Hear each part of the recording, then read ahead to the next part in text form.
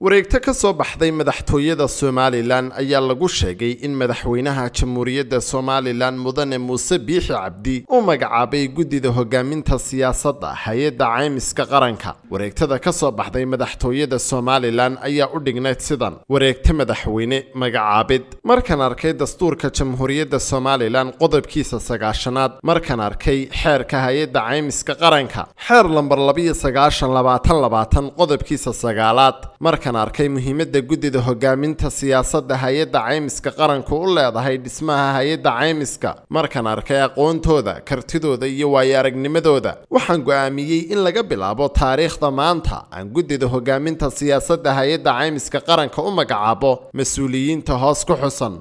Kow wasiirka wasaaradda horumarinta maaliyadda sacad cali shire guddoomiye guddoomiyaha baanka dhexe cali cabdilaahi daahir xubin guddoomiyaha hay'adda caymiska saleebaan cawad cali bukhaari xubin ururka qareennada somalilan abubakar sheekh maxamuud cabdi xubin dallada shirkadaha caymiska maxamuud nuur ducaale xubin guddoomiyaha rugta ganacsiga jamaal caydiid ibraahim xubin iyo wasaaradda diinta iyo awqaafta cabdiraxmaan maxamed cali xubin axmed maxamuud yuusuf telefishin kasaab qoonmaal islaam io fatwa ma qabtaa weydiimo diini ah?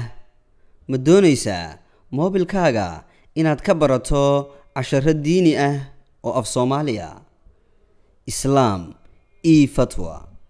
Waxaad ka helaysaa fatwa diini ah tafsiir xadiis fiqi siiro dhaqanka suuban ducooyin. Soo qor fatwa ama islaam una dir hal shan eber